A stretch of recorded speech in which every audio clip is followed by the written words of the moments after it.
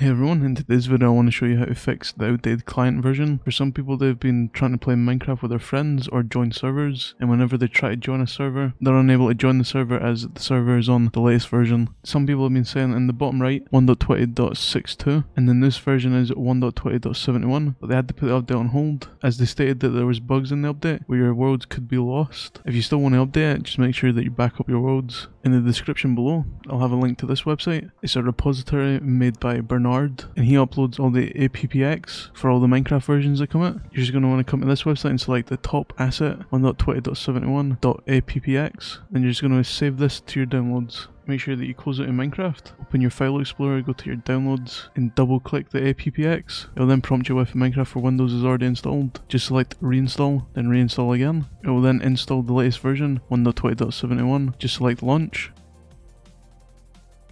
your game should then be on the latest version 1.20.71 you should be able to join your friends in any servers that are on 1.20.71. If you found the video helpful don't forget to like, comment, subscribe, it really help the channel a lot. I'll see you in the next one. Thanks for watching.